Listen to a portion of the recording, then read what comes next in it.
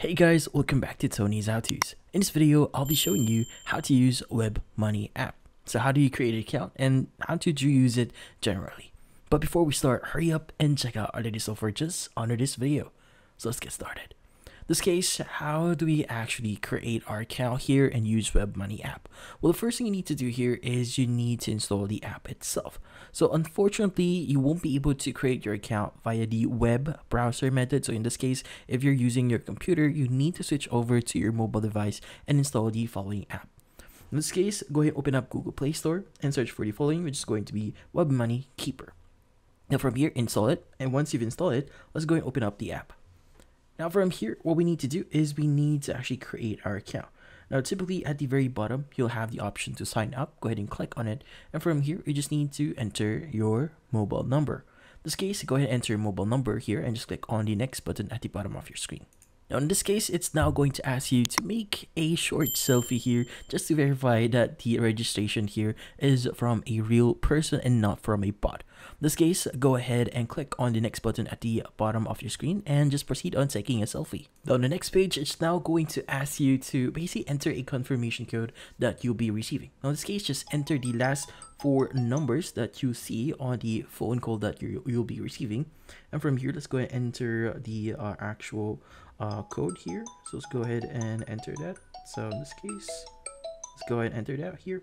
And from here on the next page, it's going to ask you to create your password. In this case, let's go ahead and create our password here and agree to the terms of service here. In this case, you need to accept the agreements for web money transfer. So it is recommended that you read their articles here and also the uh, following uh, legal and grants uh, link as well. In this case, let's go ahead and enter our password and agree to them. Let's go ahead and do this.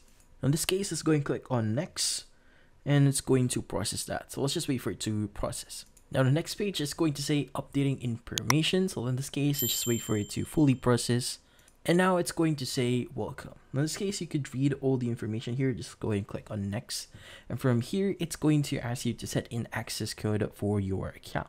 It is recommended that you secure your account as much as you can here. So in this case, let's go set a pin here. Click on next. And from here, let's go and enter our PIN. Let's go ahead and retype our PIN here.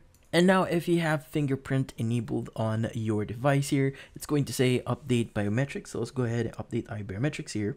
And from here, if you want to use your location, you could go ahead and allow that. From here, let's go and click on next. Now, if you want to receive push notifications, you can go ahead and allow that as well. Click on next. And from here, if you want to find out which of your contacts are using web money transfer, you can go ahead and do that as well. But let's go ahead and click on next. Now from here, you've just created your account. Let's go and click on try. Now from here, it's going to say attention. Here, the app now supports Dark Theme too. So if you want, if you want to switch over to our Dark Theme here, you could go ahead and do that as well. So for now, let's go ahead and click on No. Now in the main UI for uh, Web Money here, you have the option or the following options. You have Home, Payments, Chats, QR Code, and more. Now in this case, the homepage here would contain general information about your account, like for example, your finances here, your widgets that is currently available, as well as news or useful information that you might want to actually read. So also in this page, you should be able to see your purse as well. So your purse would contain funds for your account here. So if you want to pay for something, this is where you'll be getting your funds. Now in this case, if you want to add some funds or top up on, on your purse, just click on the top uh, purse here and choose the method that you want. So there are going to be a lot of methods here. Like for example, send an invoice, we have via donations, even from a bank card and even from a bank account if you want to. For example, let's go and choose from a bank card here. In this case, you just need to enter the amount that you want to top up, the card number, the card currency valid to, or the expiration date here, as well as the CVV or CVV or CVC2 or CVV2 code. This case, once you've entered that, there's going to be some further verification depending on your card. So in this case, just complete that and you should be able to add your card and top up into uh, your uh, purse here. Now, what are the other pages we could access here? Well, in this case, if you want to change a few things on your account, well, in this case, you could access the three dotted icon at the top right of your screen. Now from here, you could go and do, go to settings. Under settings, you have the option to change about uh, something about your account, security, restrictions, apps, updates, notification. Now, depending the depending on the setting that you choose here, you'll be able to change a few things. If you choose account here, you should be able to see different information about yourself. That includes profile picture that you have right now, WMID, as well as your uh, phone number and emails that is related to your account. Now, also, if you choose security here, you have the option to further secure your account. For example, if you want to hide your purse balance here, if you want to change your PIN or confirmation method here, uh, if you want to change that as well, and if you want to use biometric scanner as well.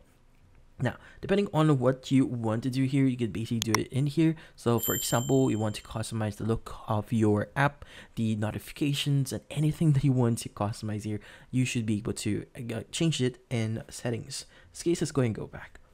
Now from here, if you click on the add at the top right of the screen, you have the option to create a new purse here or order a new card. Now in this case, you could go and choose whatever option here and you should be able to uh, do what you actually specify here, either creating a purse or order a card. Just follow the on-screen steps and you should be good. Now, also, you have the capability to go to payments. Now, the payment section here actually allows you to uh, basically make payments on specific uh, establishments. In this case, for example, we want to choose the option here for mobile communications. Now, what we need to do first is we need to specify our country or region here. So in this case, I've chosen Philippines. Now from here, what we need to do next is we need to also uh, basically select the available um, mobile communications that is on that specific country. Like for example, we choose Globe Telecom here. In this case, you just need to basically provide the uh, address, the contact that you want to send to. So first you need to add a contact here, but and allow access on this one, and also specify the amount that you want to make a payment. In this case, just click on continue here, and you should be able to make your payment for mobile and communications. So they also include internet, games, finances, loans, TV, and a lot more. But just a warning here, it depends on your current region. Some establishments or some entities are not yet available. So if you don't see it in here, you might not be able to access them. But in this case, if you do see them, uh, it's great for you. Also, you have chats here, which contains all the chats that you receive on your account and also some of the notifications that you'll be receiving. Now we also have QR code here. Like for example, you have or someone actually presented you with a QR code. You can actually scan that QR code via the app itself. Now the bottom right, you have more.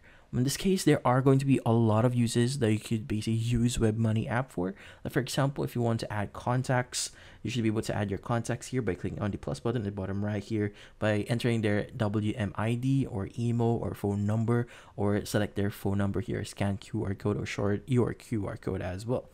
Now in this case, you also have the option to view your transactions, so incoming, outgoing, and yeah.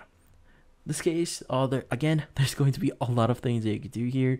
So you also have news, memo, time tracking, market, donations, enum, tasks, loans, index, and a lot more. But yeah, so this is going to be the basics that you need to learn uh, when you're using Money app, and that's about it. So if you found this video helpful, hit the like and subscribe button and watch our next video.